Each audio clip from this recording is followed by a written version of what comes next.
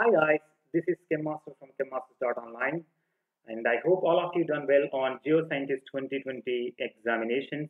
Here I'm trying to analyze memory-based questions of chemistry of Geoscientist 2020 examination and I'm requesting all of you who are watching this video just try to comment your questions that means memorize the questions of uh, Geoscientist chemistry examinations by that, we can analyze most of the questions of Geoscientist 2020 chemistry examination.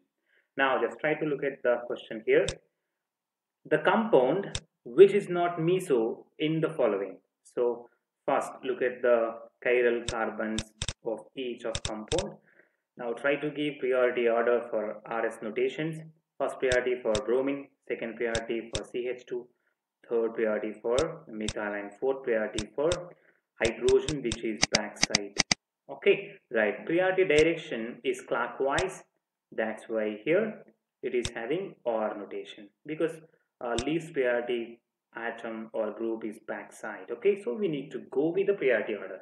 Now one two and three. Okay so it is uh, almost anti-clockwise direction with least priority hydrogen backside. So we can get yes.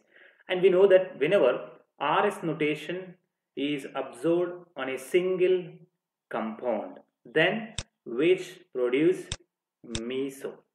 Okay right. Now just give uh, here or and for this first priority second priority third priority and fourth priority for hydrogen which is above the plane. Okay just look at the priority order. It is anti-clockwise direction but least priority hydrogen is over the plane. So we need to take opposite notation to the priority order. Anti-clockwise direction. So we need to take here r notation for it okay? So we are getting r and r. So it is not meso form or meso compound now just third one here r and here yes just take this one as dummy chiral center. Okay?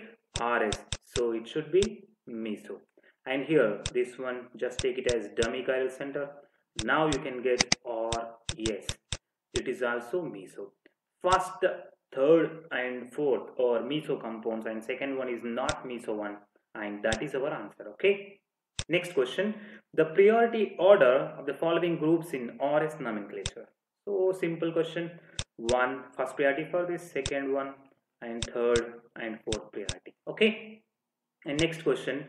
Entropy change of a reaction is given uh, with 100 joule per kelvin per mole at 300 kelvin temperature.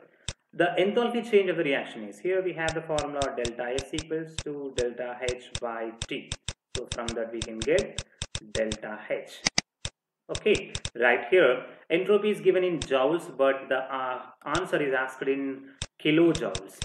Okay so for that uh, almost you can get 3 kilojoule uh, and that is our answer. Okay you, you, you just memorize the options. Okay right. And uh, next question. Find the enantiomeric form of it.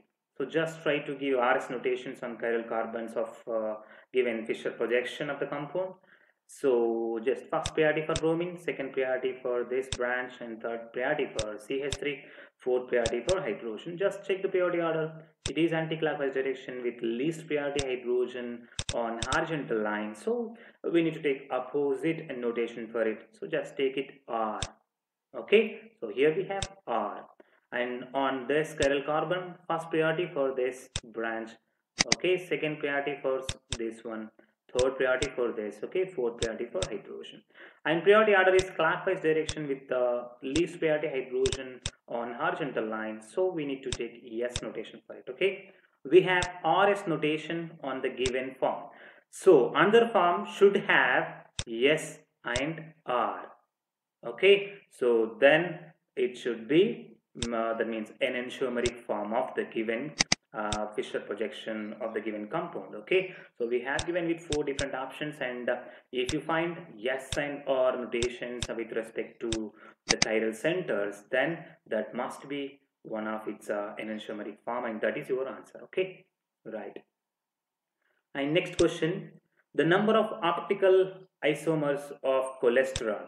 So cholesterol almost having 8 chiral centers and for that uh, unsymmetrical compound uh, we can use a formula 2 power n okay?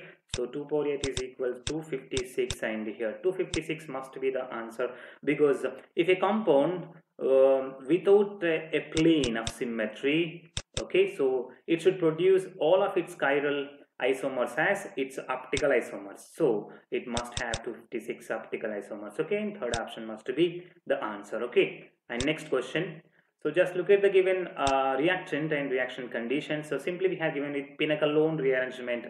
So lone pair of electrons and hydroxy axis and attack on it and which cleaves from it. And in the process so one of the phenyl group migrates here and one of the here hydrogen and oxygen bond cleaves to make uh, keto functional group. Okay. So finally you will get uh, the product as like this.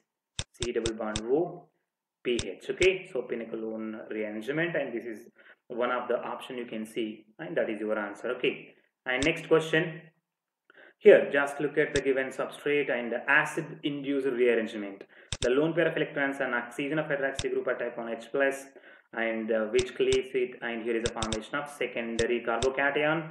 So phenyl group migrates here and makes tertiary carbocation that is a stable carbocation okay? So rearrangement and in the process uh, further heating the hydrogen cleaves here to make the uh, double bond here okay? So almost you will get the product like this pH and pH and that is your answer and you can see this option in the examination okay?